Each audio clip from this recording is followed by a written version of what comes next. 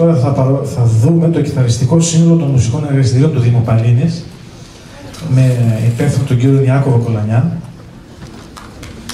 και το απαρτίζουν Αναγνωστόπουλος Δαμιανός, Γεωργούλης Πορφύριος,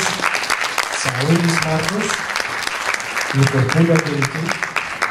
Φιλιππίδη Άννα, το Πάλης Κωνσταντίνος, Φλαούνας Γιώργος, Ολιούλα Πνεή,